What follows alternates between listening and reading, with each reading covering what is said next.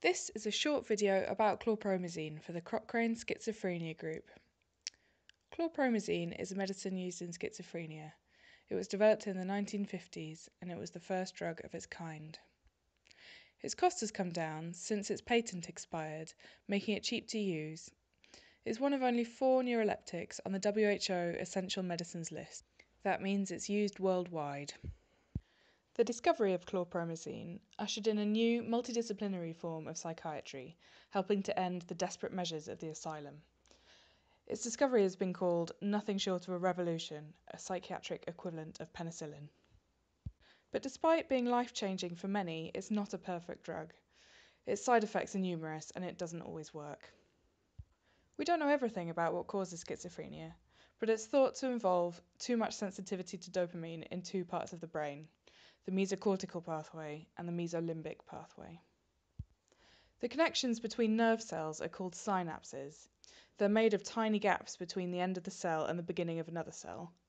In the synapses in these pathways, dopamine crosses the gap between the cells and binds to receptors on the other side. This activates the receptors and creates chemical signals in the following cell. It's thought that in schizophrenia there are more receptors for dopamine, that means that there is more activation of the signaling in these pathways. It's thought that that's what causes the symptoms of schizophrenia. Chlorpromazine is a similar shape to dopamine. It works by getting into the synapses and competing for spaces on the receptors. It binds to them, but unlike dopamine, it doesn't activate them. Instead, it blocks dopamine from activating them. This means that if you take chlorpromazine, it'll reduce the amount of signals sent by dopamine, and that will help reduce the symptoms of schizophrenia.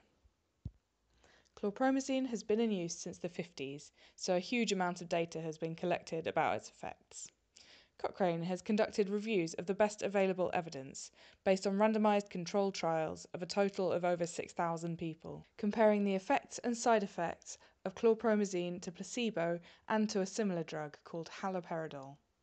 It was found that if you take chlorpromazine over six months to two years, you're 30% more likely to see your symptoms improve significantly. That's three times the success of placebo. On chlorpromazine, you're also 35% less likely to relapse. That's twice the success of placebo. The downside comes from the fact that chlorpromazine also blocks dopamine in other important pathways. The nigrostriatal pathway, for example, also involves dopamine signaling and controls movement Chlorpromazine's action in this part of the brain can produce side effects that mimic Parkinson's disease, such as tremor, muscle weakness, muscle rigidity, and unstable and shuffling gait. The evidence reviewed suggests that 17% of people on chlorpromazine had at least one of these symptoms. That's roughly twice as many as those on placebo. However, it is half the number of those who had the same symptoms on haloperidol. Sedation is another side effect you're 30% more likely to feel sedated on chlorpromazine compared to placebo. That's nearly three times as likely. Weight gain is another possible side effect. 40% more people on chlorpromazine experience weight gain than on placebo. That's five times as many. It can also lower your blood pressure so that you feel dizzy. That happened to 15% of people on chlorpromazine, over twice those on placebo. It's also three times more likely to happen if you're on chlorpromazine than if you're on haloperidol. Chlorpromazine also causes what's known as antimuscarinic side effects, which include constipation and a dry mouth. The review found that you're twice as likely to have constipation and five times as likely to have a dry mouth if you take chlorpromazine compared to if you take a placebo.